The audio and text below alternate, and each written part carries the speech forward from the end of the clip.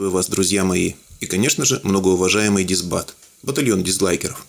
Сегодня опять хочу вам предоставить парочку интересных фактов, ну, которые для меня практически стали парадоксом.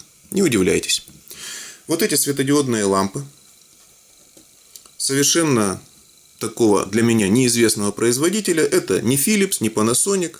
И чтобы это видео не было рекламой, сразу хочу сказать, что лампы эти не самые удачные. Ну, мне ужасно не нравится вот такой цоколь, применять их мало где возможно для меня. Парочка софитов в моей квартире не спасает ситуацию. Разумеется, эти лампы куплены ради эксперимента. Одна из них уже разобрана, и вы это прекрасно видите. А теперь подробности о них и что же в них такого странного и интересного. Чтобы показать вам факт, который меня действительно удивил, я приобрел три лампочки одного и того же производителя.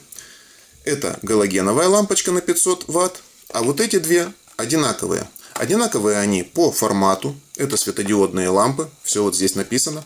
Одинаковые они по потребляемой и эквивалентной мощности. Одинаковые они и по характеристикам, и по хвалебным эпитетам, которые на них написаны на упаковке. На упаковке написано, что можно сэкономить с помощью этих лампочек до 90% по отношению к лампам накаливания. То, что у них приятный немерцающий цвет, свет. И то, что они светодиодные и нерегулируемые. Вот здесь вот есть этот значок. Все практически одинаково. Но вот эта лампочка рассчитана на напряжение 230 вольт, а вот эта лампочка рассчитана на напряжение 12 вольт.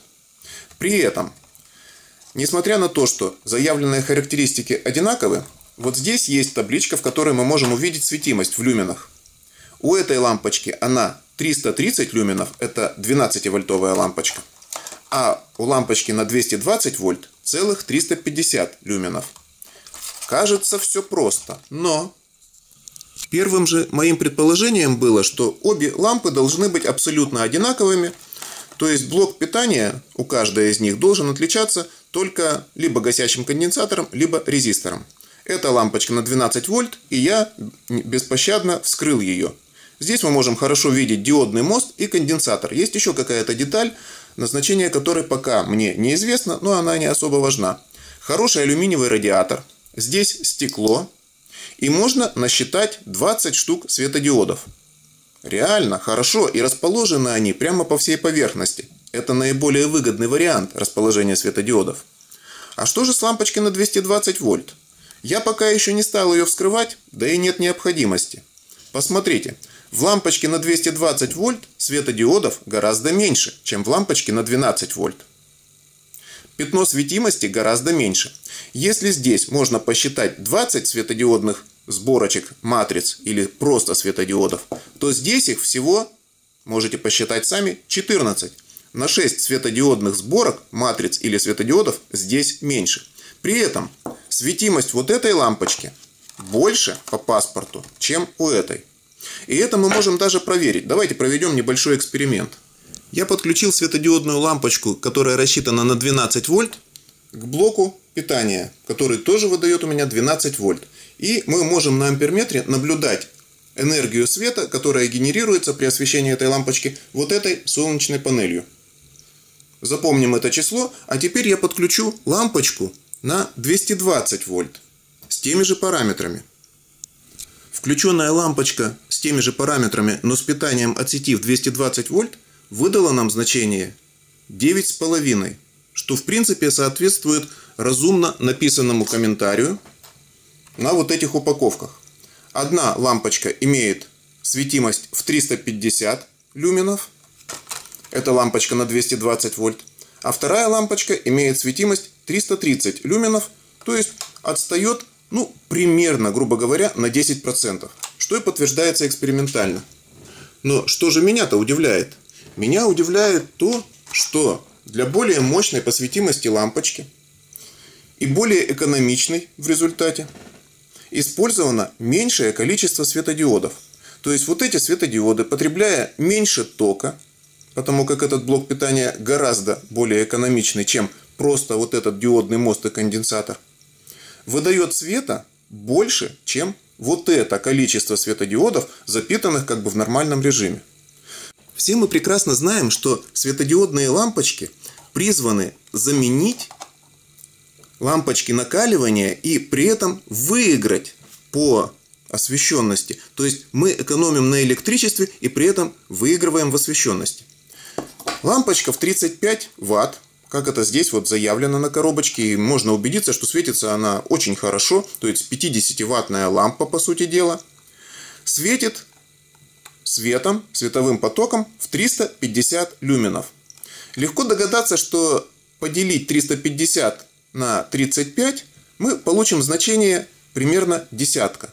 То есть 10 люменов на 1 ватт. Но это если мы будем брать эквивалент. Не правда ли? Если разделить, конечно же, 350 на 5 потребляемых ватт, то значение будет гораздо больше. Это будет 70. И тут в очередь вступает вот эта лампочка.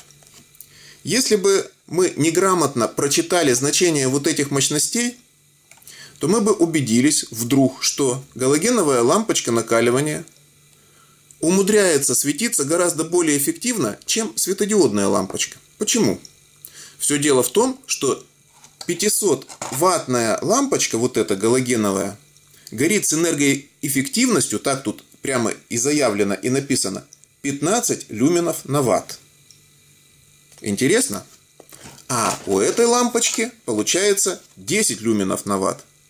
Но это будет только в том случае, если мы будем брать эквивалентную мощность.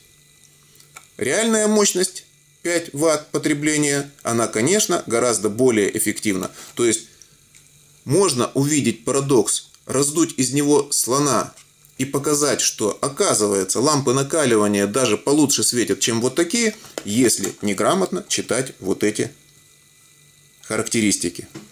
Но это еще не все. Почему, собственно говоря, я взялся именно за эти лампочки и решил э, показать вам именно их? Этот производитель экологичный, хороший, вот все его маркировочки, заявляет вот что. Что произведен этот товар Made for Europe, для Европы. Экспортный вариант который продается во многих странах ближнего зарубежья, в том числе у нас, вполне качественный, вполне конкурентоспособный и сделанный именно для Европы, а никак не для Азии. Я не знаю, кто доверяет лампочкам европейских производителей, а кто доверяет лампочкам азиатов. Но здесь, в Азии, вот эти лампочки у нас встречаются крайне редко. Очевидно, что все они уходят в Европу. А там точно такие же корпуса, алюминиевые, хорошо собранные, со стеклом вот здесь вот и с такими же светодиодами, имеют маркировку уже не вот такую, а Филипсы, да и прочие, гордящиеся своей продукцией. А вот на лампочках фирмы Philips, которые продаются у нас здесь, я обнаружил ту же маркировочку. Сделано в Китае. Может быть и не парадокс, а может быть и парадокс. Как знать.